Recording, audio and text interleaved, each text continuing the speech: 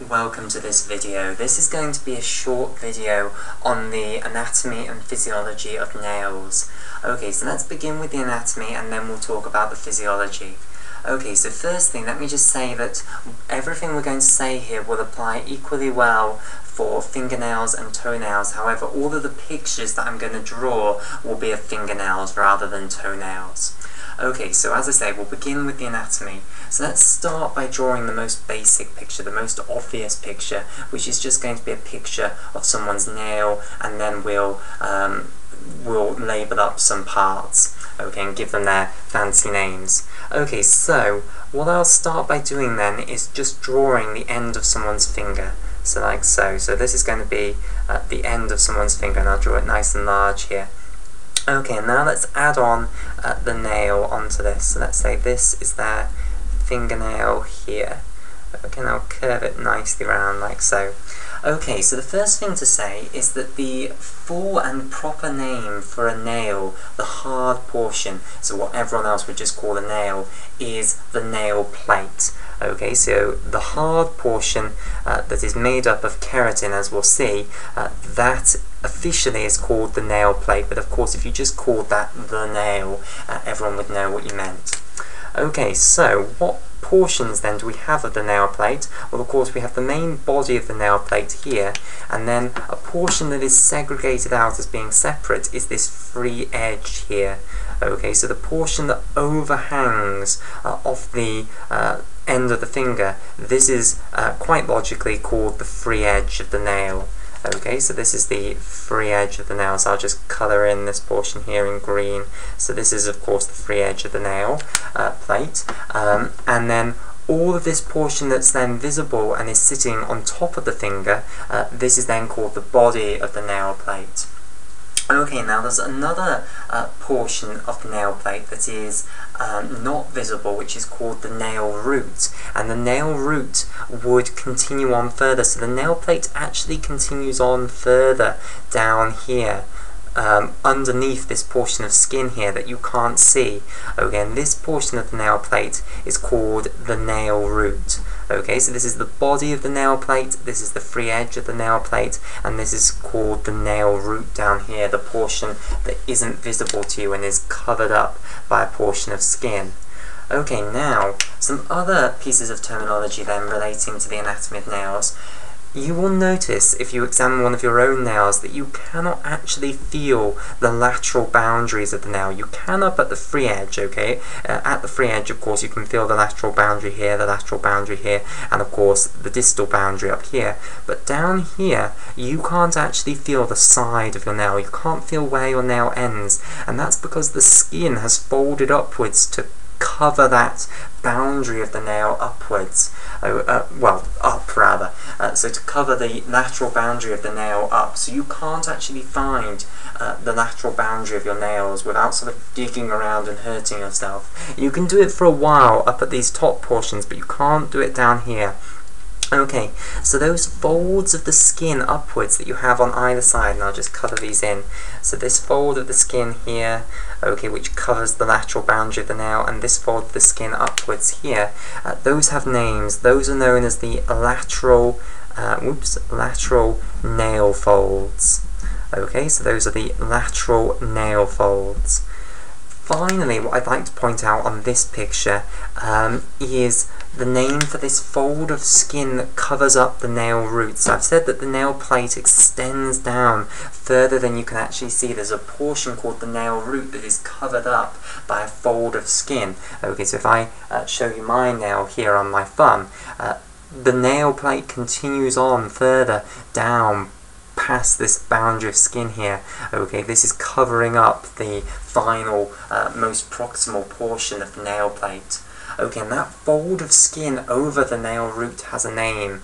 Okay, it is called the proximal nail fold, or there's an even fancier name for it, the eponychium. So I'll give you these. Proximal, uh, proximal uh, nail fold here okay, or alternatively you can call it the eponychium. Okay, so epo or, or epi means upon, and then nychium means uh, pertaining to the nail. Okay, so this is sitting upon the nail. So the eponychium is the other name for the proximal nail fold here that's covering up the nail root. Okay, so the one final thing that I want to add on to this picture before we go on to a different picture is if I show you one of my nails here, and I hope this is showing up, and it is, I think, showing up nicely, you can see very evidently that there is this semicircle of white at the bottom. Okay, so when you look at your nail here, most of the bit underneath the actual nail, and the nail, by the way, is translucent, so you're seeing through the nail here. Okay, most of the portion underneath Okay, the tissue underneath the nail that you're seeing is this sort of pinky colour. Okay, and I'll give you the name for that in a moment. Uh, and then this portion down here is a whitey sort of colour, and that white semicircle here that I'll just sort of, well actually I'll put it on in an unhashed line, that has a special name. That is known as the lunula, okay, for half moon. Okay, so it's from Latin um, and means pertaining to the moon, because of course it does look uh, like half of a moon. So the lunula is the name for that white semicircle that you can see at the base of your uh, nail uh, just before the eponychium begins. Okay, right. Now, I think that's as much as we can do from this picture. What I'd now like to do is cut across and take a cross section and look from the side rather than looking down from above in this way. So let's imagine cutting through your finger and now splitting it in half and looking at the free, um, well, the cross-section that we've exposed, and we'll see what other things that we can learn from looking uh, at that picture. So I'll draw this here. Okay, so this will give us better perspective for some of the things that we've seen here.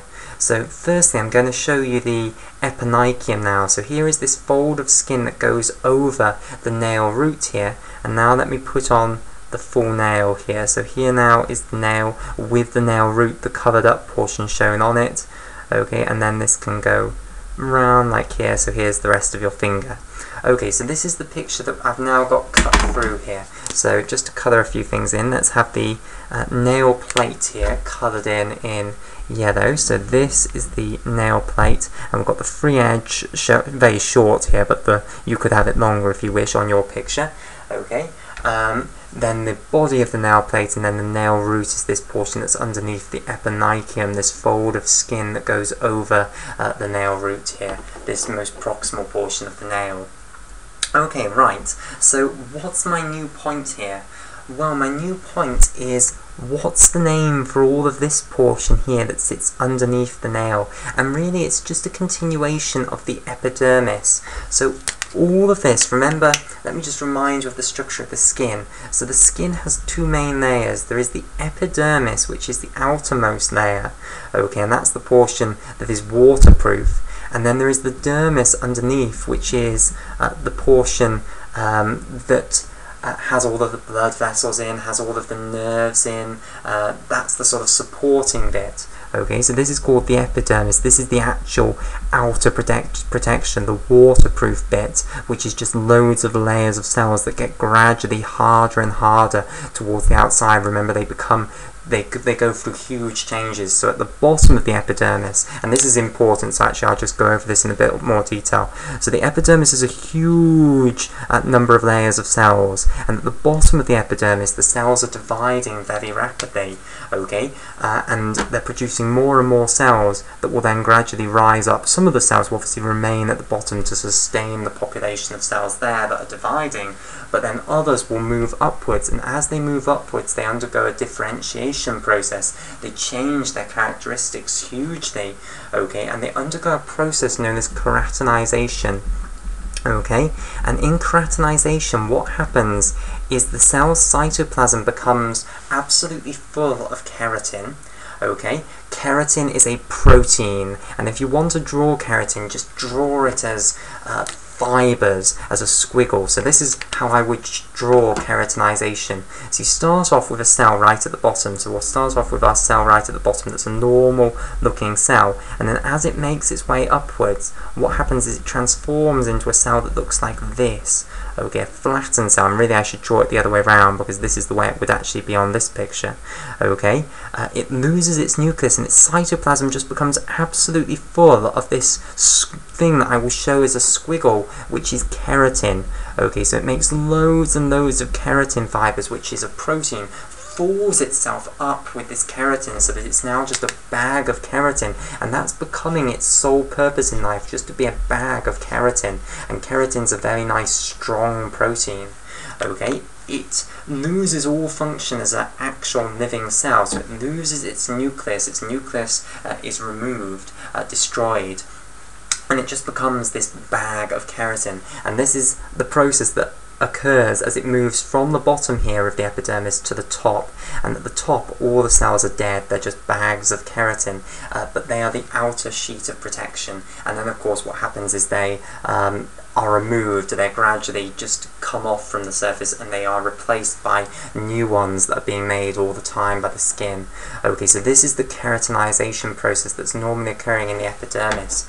Really, nails are just a more extreme version of this. So really, what I'd like to show you is that this, the epidermis, I'm showing here in orange, and it just effectively curves round like so and this portion that's underneath the nail, this is just equivalent to the epidermis. Okay, and certain portions of this uh, portion of, of, well, this outer layer of cells that borders the nail is effectively like the epidermis in hyperdrive and is producing the nail. So the nail is effectively very similar to these outer cells of the epidermis, just more extreme really. Okay, so let me give you a bit more terminology before I'll go over that again. Okay, so when we look at a nail, so I'll show you the picture of my nail here. Again, the nail, the actual nail is translucent, so you are seeing, when you look through your nail, you are seeing the portion, the tissue underneath, the surface underneath. Okay, so the pinky portion is known as the nail bed. Okay, so all of this is called the nail bed and it is equivalent to epidermis, although it's very thin epidermis, and to an extent it contributes to the formation of nails, but nowhere near as much as the portion that we're about to discuss.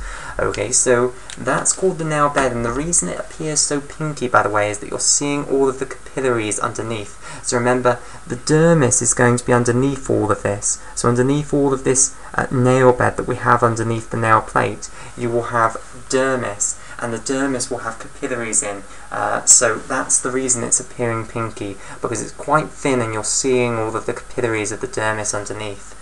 Then the lunula, the white portion that you can see for your nails here, that's very different. That corresponds to this sort of portion. Okay, so this is obviously the bit that you would actually see. You wouldn't see this portion here because that's covered up by the eponychium. But the lunula would be the visible portion of this um, proximal portion or proximal continuation of the nail bed here. And this is the portion that actually produces the nail. This has a special name. This is called the nail matrix. And really you should just think of it as normal epidermis but in hyperdrive. Okay, so not so normal epidermis. Uh, so it consists of lots of cells like this that are dividing very very rapidly, producing a huge great population of cells, continuously making more. Some of those cells will remain in this tissue called the nail matrix here um, to re retain the population at a certain level, whilst the others will move outwards towards the nail, and as they do, they will undergo the keratinization process. They will become uh, just bags of keratin, lose their nucleus, and that's what the nail is.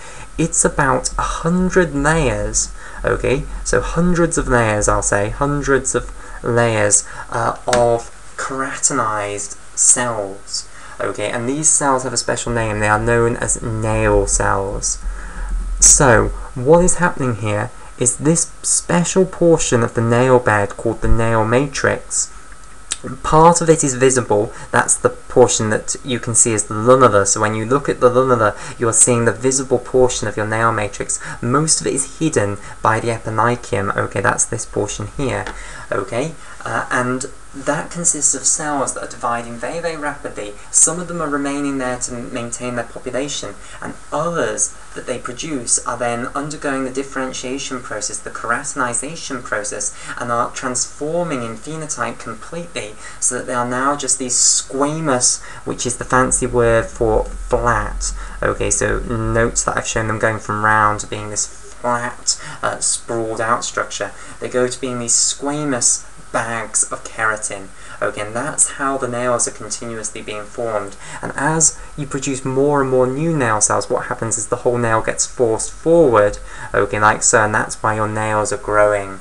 Okay, so there is the physiology of nail growth, where the nail actually is coming from. It's coming from this special portion of the nail bed, a part of which is visible as the lunula here, known as the nail matrix, which consists of uh, a lot of dividing cells right at the base. Just like at the base of the epidermis, you have the dividing cells, and then as you go up the nail matrix, and again I'll stress the nail matrix is just not just one of cell, at cells. As you go up the nail matrix, they become closer and closer to these nail cells, which are effectively equivalent to the outermost portion of the epidermis. And if you uh, know your histology, you'll know that the outer uh, layer of the epidermis, which is made up of these dead keratinized cells here, is known as the stratum, which just means layer corneum. Okay, so the outer layer of the epidermis, the portion that you can actually feel. Okay, um, the bit that actually faces the outer world, that has a fancy name called the stratum corneum, and effectively the nail is just a really, really thick stratum corneum. Okay, but it's the same principle of how you actually make it. Okay, so I think that's all I wanted to say, so we will end this video here. I hope that that has uh, enlightened you upon uh, a bit of the terminology used to describe the anatomy of nails and a little bit of insight into what's actually happening with regards to the physiology of nail production.